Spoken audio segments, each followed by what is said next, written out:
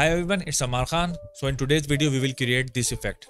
You can download this from my Patreon, link in the description. So let's begin. So I have opened the EmberGen uh, and I have already deleted all the extra nodes which comes with default scene. You can see it's empty now. We have our simulation node and I have already imported the character. But you can import it by right click, go to import. There is a file path. Choose anything you want and import it. And that's it. You can import anything. Now I'm enabling it my character. Now we have to change some things just like go to simulation. We have domain. So you can see we have to expand a little bit. Just go to I guess 300 by 300 by 100 we don't need much height. Okay now we have to go to our force.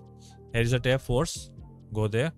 Buoyancy change it into 100 0 okay now it's done. Now we have to expand emitter emitter volume.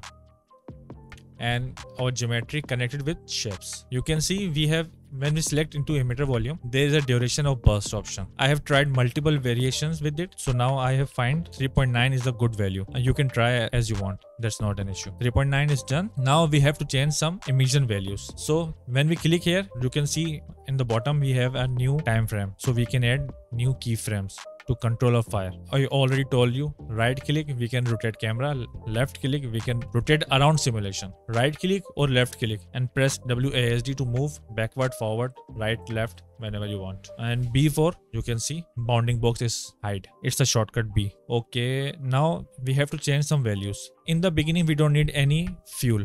So we need zero. I don't need any keyframe here. Just uh, now here I want to add some fire 0 and I guess 800 will be better. Now here enter and now 0 and that's it. And we need our smoke rate will be I guess 125 that will be better. Hit spacebar to see. You can see it's not going down because we didn't add any forces at, at the moment. We will add that just but our scene is ready now. We don't have to do much. Just add to force drag node and force line. One point just try to change some values add random values. Doesn't matter. You will learn a lot. I'm just adding random values. It's not pre-planned. So now r for 0 and now spacebar have a look. Value is quite low. We have to increase little bit we have to push down value so it will create an illusion. I guess we are going on right path. Increase a little bit. Expand. Repel mean expand. Now we will do again. And that's it. We have achieved the result. You can play with the strength as you please but this is the effect.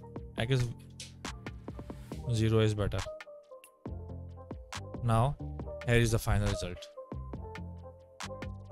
You can download all my files with my Patreon. Uh, your support helped me to create more free content. So please support me on Patreon. And that's it.